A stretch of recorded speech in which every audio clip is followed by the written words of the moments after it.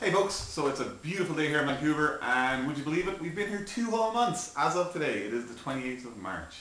So to celebrate I got myself a tiny pizza and an enormous Slurpee. This is my first time having Slurpee in, in Canada.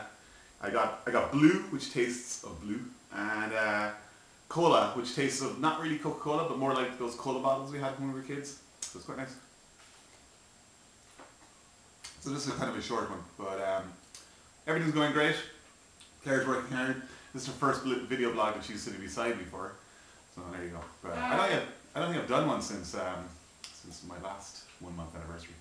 So there we go. But uh, yeah, looking good and keeping well. Cheers, guys.